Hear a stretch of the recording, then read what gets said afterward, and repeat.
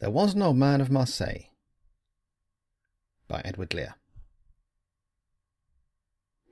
There was an old man of Marseilles whose daughters wore bottle green veils.